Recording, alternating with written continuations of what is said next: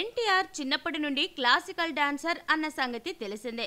ఆయనకున్న classical dance ప్రావీణ్యంతోనే డాన్స్లో ఎలాంటి step అయినా ఈజీగా వేసేయగలడు.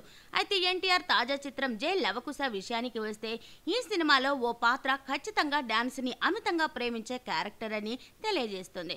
గతంలో చిరంజీవి త్రిపాత్ర అభినయంలో వచ్చిన ముగ్గురు మునగాళ్ళు సినిమాలో కూడా చిరు ఓ పాత్రలో క్లాసికల్ డాన్సర్గా కనిపించారు. ఇప్పుడు ఎన్టీఆర్ కూడా అదే తరహా పాత్రలో నటిస్తున్నాడంటూ గాసిప్స్ బాగా వినిపిస్తున్నాయి. అయితే చిత్ర యూనిట్ మాత్రం ఆ సినిమాకి ఈ సినిమాకి పోలిక ఉండదని ఈ సినిమా స్టోరీ పూర్తి విభిన్నంగా ఉంటుందని అంటుంది.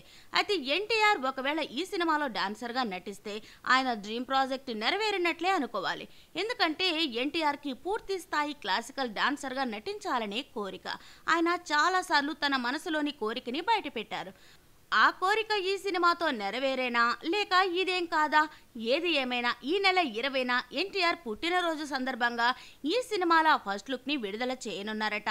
ఆ లుక్ ఎన్టీఆర్ ఈ సినిమాలో మూడు గెటప్స్లో కనిపించేది. ఆ మూడు గెటప్స్ ఏంటనేది తెలియజెప్పే విధంగా ఉండబోతోందని విశ్వసనీయ వర్గాల సమాచారం.